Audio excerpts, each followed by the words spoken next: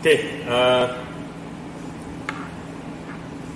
so untuk lab apa ni? Uh, for this lab, first what we need to do is we need to launch the lab software software.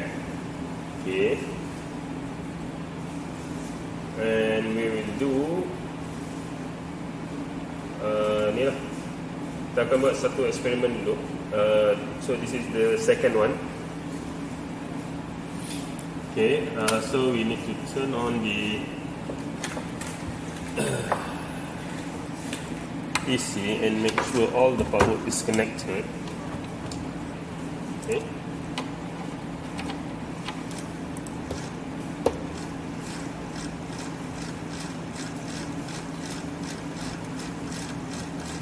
Okay, we will uh, do the ignition system. Okay, dekat sini kita akan pakai uh, ni lah coil ignition uh, system. Okay, so apa kita nak buat sekarang ni sebenarnya? So kita nak tengok uh, So we will do this part eh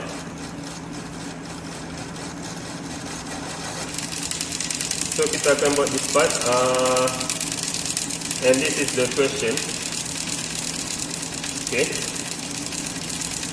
So first yang you kena buat is uh, Set the probe To times 10 And uh, hook one of the cable to the ground And another one into the secondary coil So kita nak measure uh, Apa ni? kita nak measure voltage dekat uh, secondary coil. Okay. Next, if you follow the instruction, so you need to do uh, oscilloscope punya reading. Okay. Set to 10 millisecond.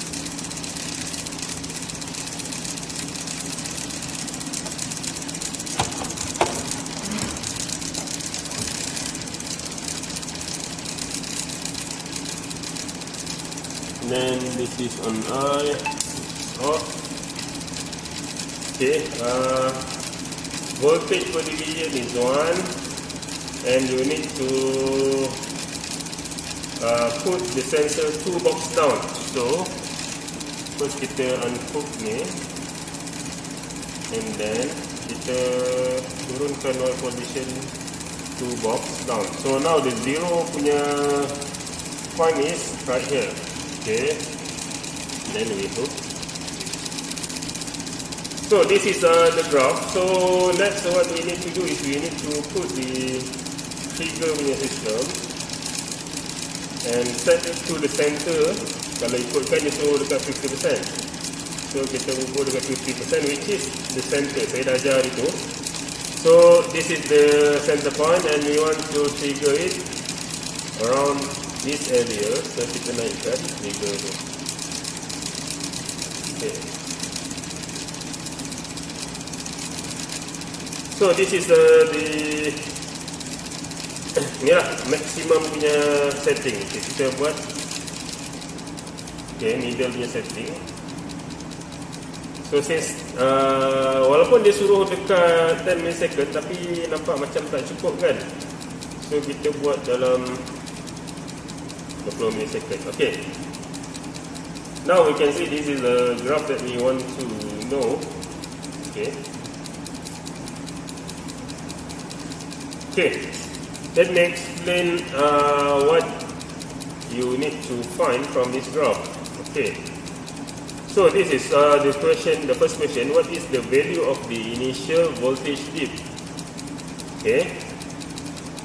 So initial voltage dip ni ialah dip. Dip maksudnya celup dalam bahasa Melayu ataupun turun eh. So maksudnya from here to here. So it's around one box. So the setting here is one volt. So one box equal to one volt. Okay. So if you answer the question here, what is the value of the initial dip? And if you put one volt, definitely you will get a wrong answer because uh, see we have set this uh, probe to times 10 so we need to uh, timestamp the answer that we got. So this is 10 volts. So if you check the answer, you should get a correct answer. Okay. Next, what is the value of uh, subsequent voltage rise? So voltage rise from here up until here. So you can do measurement and calculate yourself. Okay. What is the duration of maximum burning voltage? So daripada graf ni mana burning voltage? So basically uh, here is the dual angle. Okay. So times uh, untuk dia charging and then voltage rise. So voltage naik up uh, to a certain voltage.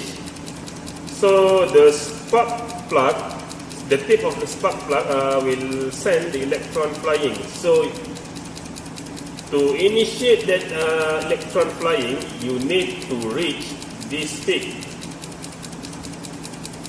After the electron has uh, made a jump, so you get the sparking. So the voltage is here. Okay. So the timing of the burning of the spark plug is from here to here. Okay. So if somebody answer uh, what is the voltage needed for electron to spark from the spark plug, this is the answer. And if somebody asks uh, what is the working voltage of the spark plug, it is this voltage here. And the time uh, the spark plug burning is from here to here. So the setting now is around 20 milliseconds, so you might get the answer about 10 or below. Okay. But uh, since uh, the answer here doesn't have uh, the same value yang macam kita nak 10, so we go for the less answer lah. Okay. Okay. So the last question it asks what does the ignition voltage do? So ignition kat atas ni dia berubah ke tak? So bila speed makin laju apa jadi? Okay. So uh, if we hypothesize uh, voltage needed untuk elektron to jump must be the same. Okay. So kalau kita ubah speed, so saya ubah speed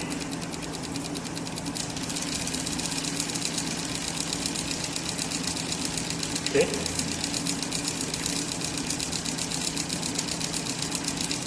Okay. The voltage uh, remain the same. Okay. Okay. Apa jadi?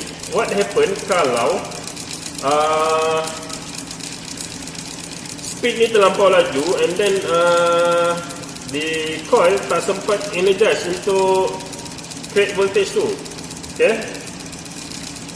So lama-lama if uh, terlampau laju dia tak sempat charging then this uh, voltage will drop down okay? Dia akan turun. Okay? So the, the dual angle change uh, with respect to uh, ni lah uh, speed. So ini dual angle. So let's see at 20 second okay? This is the dual angle.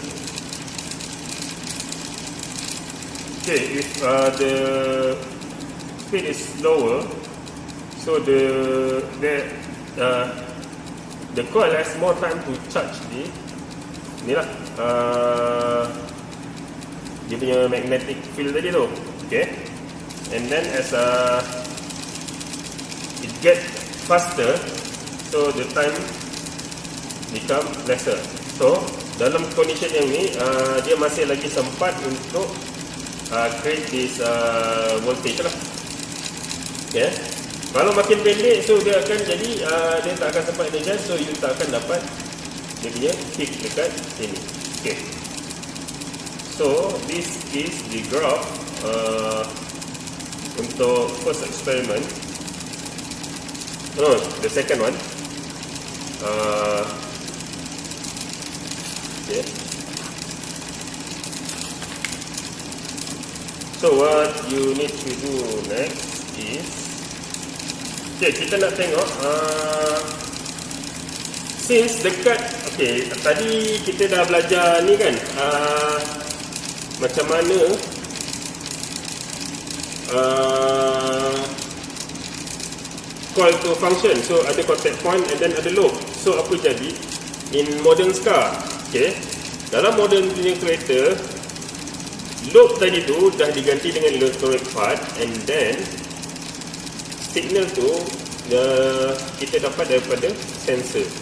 And then sensor will trigger the electronic punya system dan dia yang akan putuskan gitar tadi. Okay, so you dah tak akan dapat contact point yang mechanical lah. Okay. so kita pergi dekat uh, signal generator punya experiment